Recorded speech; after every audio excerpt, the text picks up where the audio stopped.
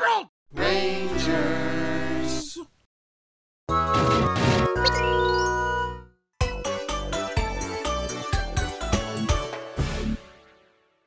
Oh no!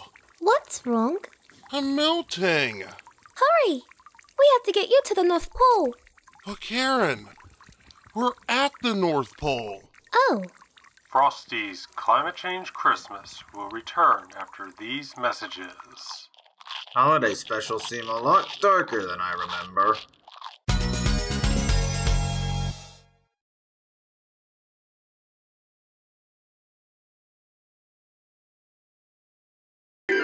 Frosty the snowman was a jolly happy soul with a corncob pipe and a button nose and two eyes made out of coal. Frosty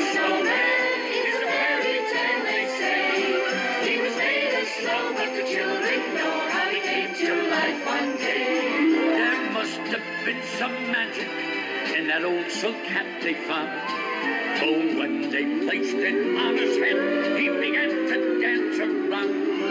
Frosty the snowman was alive as he could be, and the children say he could laugh and play just the same as you and me.